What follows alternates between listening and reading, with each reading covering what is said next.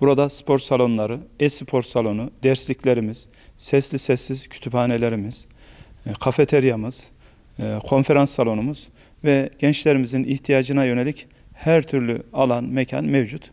E, Bu bölgedeki bulunan gençlerimiz ve Karatay'daki tüm gençlerimize inşallah uzun süre burası hizmet edecek. Bizler gençliğimizi geleceğimiz olarak görüyoruz. Onlara her zaman eğitim alanında ve diğer alanlarda yardım etmeye, onların yanında olmaya, onlara destek vermeye devam edeceğiz inşallah.